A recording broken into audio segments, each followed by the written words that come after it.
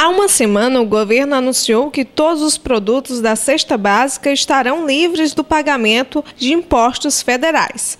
O Imposto sobre Produtos Industrializados, IPI, e o PIS com FIS não serão mais cobrados. Fazem parte dessa cesta carnes bovinas, suínas, aves e peixes, arroz, feijão, ovo, leite integral, café, açúcar, farinhas, pão, óleo, manteiga, frutas, legumes, sabonete, papel higiênico e pasta de dentes.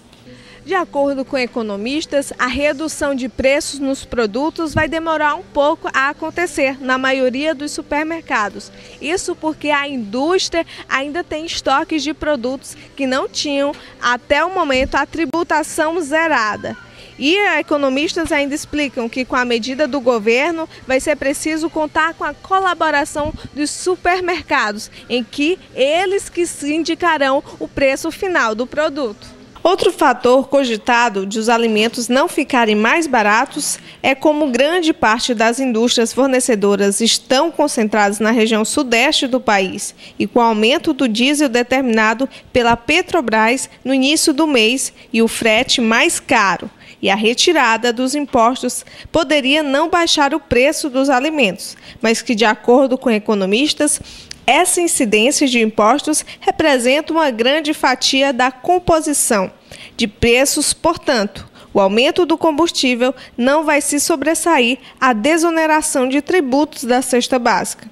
Para os consumidores, qualquer queda torna-se bem significativa para o bolso, já que ultimamente os preços de alguns alimentos estavam lá em cima. Não dá, o dinheiro não dá para o mês todo a gente passa dificuldade.